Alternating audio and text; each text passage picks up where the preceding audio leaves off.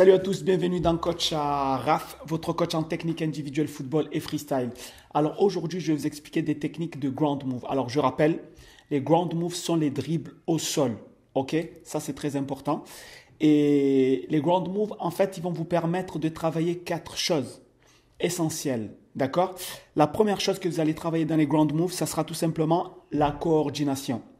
Et ce qui est important ici, c'est que vous allez travailler la coordination avec ballon? Parce qu'on peut travailler la coordination sans ballon, par exemple avec euh, l'échelle d'agilité, d'accord? Mais ici, vous allez travailler la coordination avec ballon.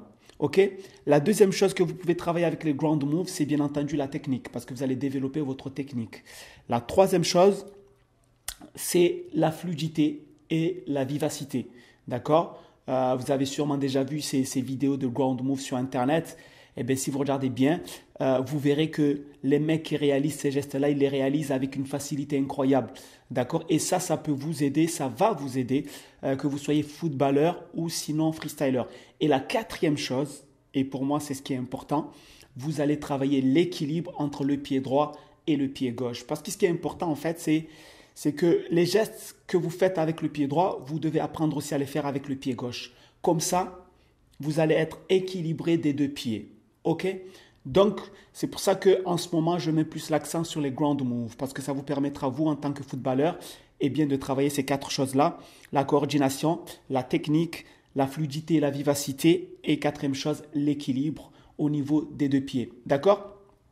Mais avant euh, d'expliquer euh, ces mouvements de ground move, euh, je voulais vous parler d'une chose parce que c'est très important je sais que beaucoup d'entre vous n'arrivent pas à progresser à cause de votre attitude. Et ça, je le dis souvent. Euh, pourquoi? Parce que beaucoup d'entre vous, parfois, malheureusement, euh, vous êtes dégoûté parce que vous n'arrivez pas à réaliser tel ou tel geste, ou parce que vous avez perdu un match, ou parce que votre entraîneur ne vous a pas choisi, ou parce que vous étiez sur le banc de touche, ou parce que voilà, il y a, plein de, raisons comme ça qui font qu'à un moment donné vous abandonnez, ou sinon vous êtes dégoûté, euh, voilà. Et c'est pas ça qui va vous faire avancer. Alors, j'ai mis au point une technique. Parce qu'après tout, nous sommes tous des êtres humains. On peut être dégoûté, on peut avoir envie de pleurer parce qu'on n'a pas réussi tel ou tel geste, ou parce qu'on euh, a perdu un match, ou parce que vous avez raté un penalty. Ça peut arriver. On peut avoir envie de pleurer, de, pleurnicher, de, euh, de bouder, je ne sais pas, peu importe. Alors j'ai mis au point une technique, et ça c'est sérieux. Ça s'appelle la technique du chronomètre. Si un jour, par exemple, vous êtes dégoûté, vous avez envie de pleurer, vous avez envie de tout casser parce que, voilà, vous ne vous sentez pas bien, euh, mettez au point la technique du chronomètre de Coach Sharaf. Alors pour cela, j'ai fait une petite démo pour vous montrer. D'accord? D'accord? Donc en fait, il vous faut un chronomètre. Et pendant à peu près deux minutes ou une minute, peu importe, c'est vous qui choisissez. Mais ne le faites pas plus de cinq minutes, sinon ça ne sert à rien. Vous allez vous plaindre, vous allez pleurer, vous allez être dégoûté. Mais au bout de ces deux minutes ou trois minutes, vous allez vous arrêter. Regardez, j'ai fait une petite démo pour vous expliquer cette technique. Ça s'appelle la technique du chronomètre. Ok? Regardez. Donc, je vais prendre quelques minutes pour pleurer. D'accord? Mais, non, pas quelques minutes. Vous, vous devez faire pendant deux minutes, pas plus de deux minutes. D'accord? Très important. Deux minutes seulement. Quant à moi, je vais faire pendant 10 secondes, 30 secondes. Alors, je vais mettre mon chrono. 30 secondes.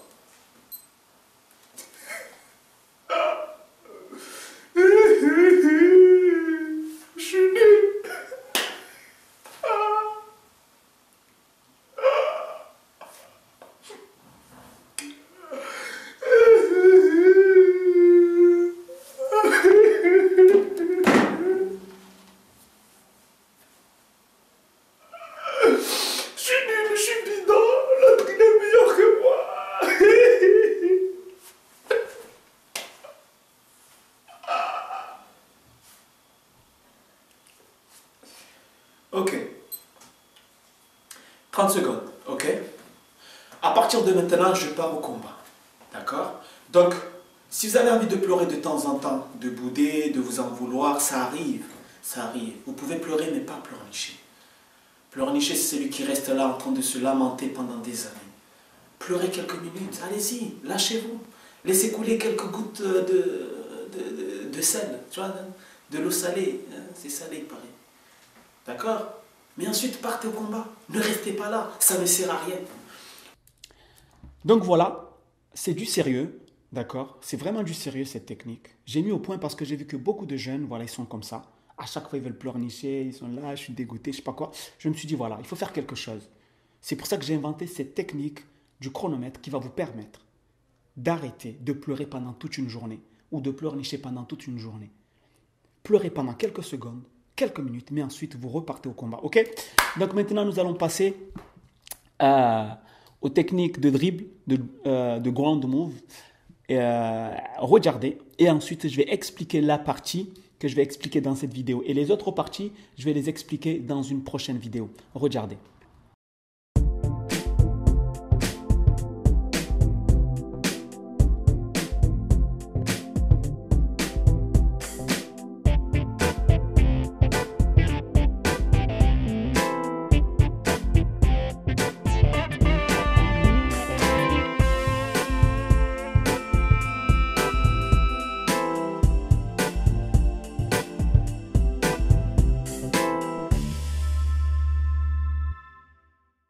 Donc voilà. Donc comme vous voyez, tout d'abord, euh, imaginons que vous êtes droitier. Donc avec l'extérieur de votre pied droit, comme vous voyez dans ces images-là, donc vous allez immobiliser le ballon.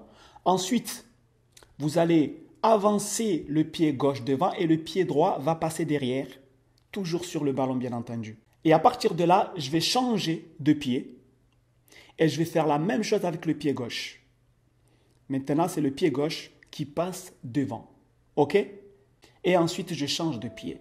Donc au début, faites-le doucement, d'accord? Tout doucement, étape par étape. Donc comme vous voyez dans cet exercice, comme je l'ai dit tout à l'heure, là vous êtes en train, en train de travailler à la fois la coordination, d'accord? Mais avec un ballon, ce qui est très important. Ensuite, vous travaillez la technique, bien entendu.